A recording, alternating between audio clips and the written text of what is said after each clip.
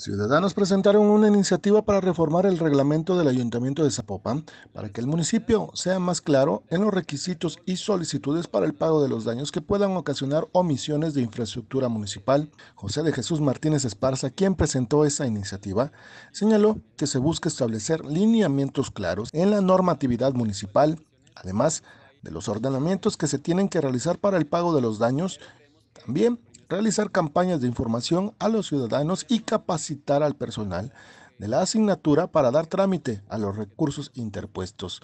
Habla el ciudadano José de Jesús Martínez Esparza. Dejar muy claro el procedimiento que tienen que seguir las y los ciudadanos de Zapopan para exigir, en su caso, la indemnización por las afectaciones en sus bienes o derechos causados por la actividad irregular del municipio, es decir, baches, calles en mal estado, banquetas en mal estado, parques en mal estado.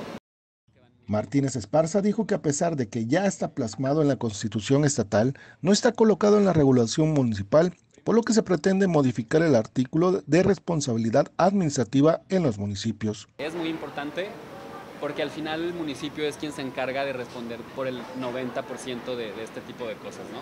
Aquí las calles prácticamente todas son del municipio, solamente pues, periférico y algunas otras que son federales o estatales, pero en general el municipio es quien se encarga de, de hacer este tipo de, indemnizaciones y no estaba reglamentado ahí. Lo único que dice la Constitución es que el Estado y los municipios tienen la obligación de responder por los daños, bla, bla, pero no está establecido los tiempos, los requisitos, dónde se presenta, qué tengo que traer, eh, o sea, por ejemplo, hacer el monto estimado del daño, una relación causal de hechos. Las imágenes son de Rubén Fraire, señal informativa Henry Saldaña.